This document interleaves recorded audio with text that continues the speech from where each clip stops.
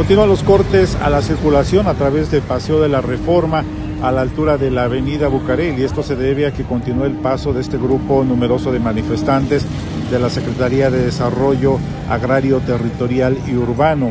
Por supuesto, el servicio del Metrobús también se ve afectado. La gente tiene que descender de las unidades, caminar varias cuadras para buscar algún otro medio de transporte. Mientras tanto, este grupo de manifestantes continúa avanzando muy lentamente. De hecho, uno de sus integrantes se desvaneció, se espera servicio médico. El grueso del contingente continúa avanzando hacia las oficinas de la Secretaría de Gobernación, donde estarán realizando un mitin. Para Capital Media informó Juan Manuel Padilla.